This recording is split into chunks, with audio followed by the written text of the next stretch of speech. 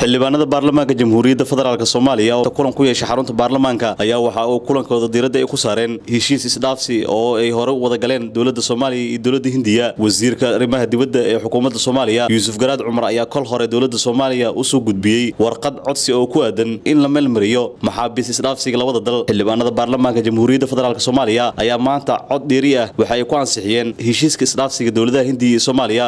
Sidoo kale waxaa muddada kulanka u socday oo aragti halkaas ka dhiibtay qaar ka mid a xildhibaanada baarlamaanka soomaaliya xildhibaan xuseen carab ciise iyo xildhibaan shariif cabdalla robow oo ka mid a xildhibaanada baarlamaanka ayaa waxa ay soo jeediyeen in maxaabiista dowladda hindiya ku xiran soomaaliya loo sii daayo. Xildhibaanadii hore in anaku halkaa iska fadhino laynoo soo galay. Taa iyo midka daran baa soo socota. Haddayna runtii ogolaanin amnigeenna inaan inakuna ka shaqayno dadka ka shaqeeyana aan ixtiraamno. Marka mushkiladaas waa mushkilad runtii haddaynaan imika ka hortegin dhibaato weyn inoo keenta kulligeen marka qofkaa iska yaraysanaya ee le ma garanaysa numberka intuu tuuro ka lugeynaya.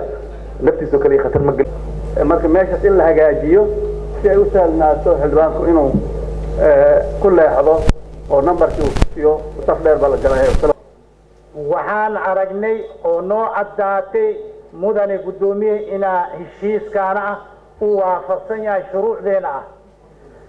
Si fiicana loo soo qoray wax cillad ah aan ku aragnay haba yaraatee ma jiro.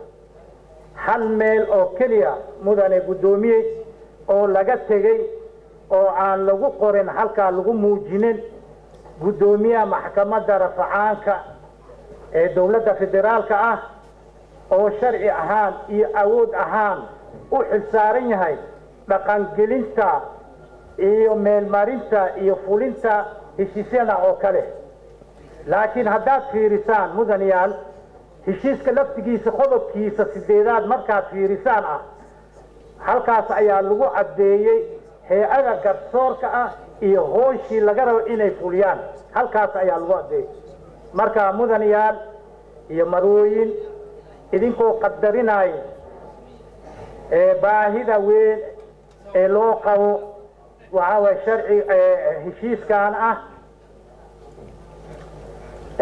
si fursadda loo siiyo muwaadiniinteena oo xukuman ah oo ku dhibaateysan xabsiyada hindiya ah dalka lagu soo celiyo si oo wixii maaragtay oo xarigooda oo wax ka dhiman oo halkaa ay ku dhameeyaan waxaan maaragtay idinka codsanaya mar labaad ah inaad baarlamaanka soomaaliya ayaa waxa uu waday dadaallo dib loogu soo celinayo xorriyaddooda soomaalida ku kala irdhowday adduunka intiisa kale cabdirashiid sandheere telefishinka caalamiga star t v magaalada muqdisho